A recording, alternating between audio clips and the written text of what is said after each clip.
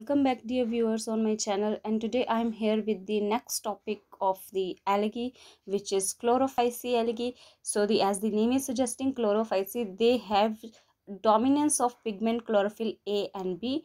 Other than that these algae are known as the green algae due to the presence of chlorophyll and they are unicellular colonial or filamentous and other than this most of the members of this algae have one or more storage body known as pyrenoids. Very important question for one mark competitive exams. And uh, these pyrenoids contain starch. Other than that the reproduction can occur through vegetative method or sexual or asexual. Vegetatively they reproduce through the fragmentation or formation of different type of spores. Asexually they produce flagellated spore zoospores and they are produced in the zoosporangia special structure. Other than this, the sexual reproduction can be of isogamous, anisogamous or oogamous type and the most common examples of chlorophyceae algae are Chlamydomonas, Volvox, Ulothrix, Spirogyra and Chlorella. So,